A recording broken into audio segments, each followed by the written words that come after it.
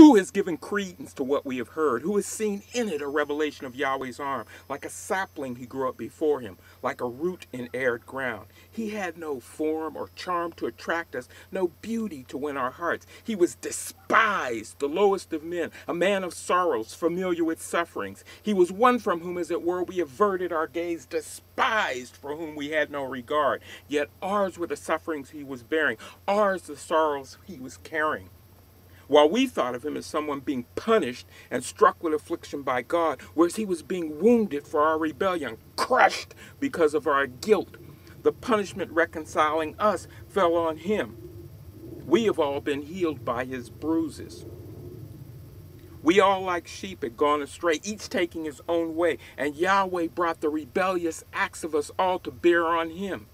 Ill treated and afflicted, he never opened his mouth. Like a lamb led to the slaughterhouse, like a sheep dumb before his shears, he never opened his mouth.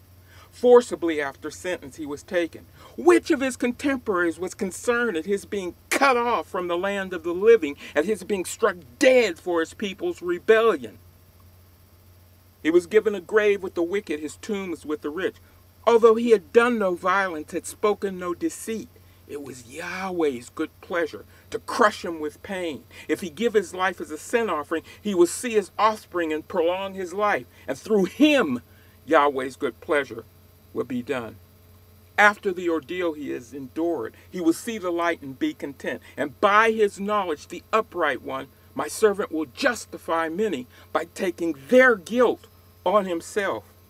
Hence I shall give him a portion with the many. He will share out the booty with the mighty for having exposed himself to death and for being counted as one of the rebellious, whereas he was bearing the sins of many and interceding for the rebellious.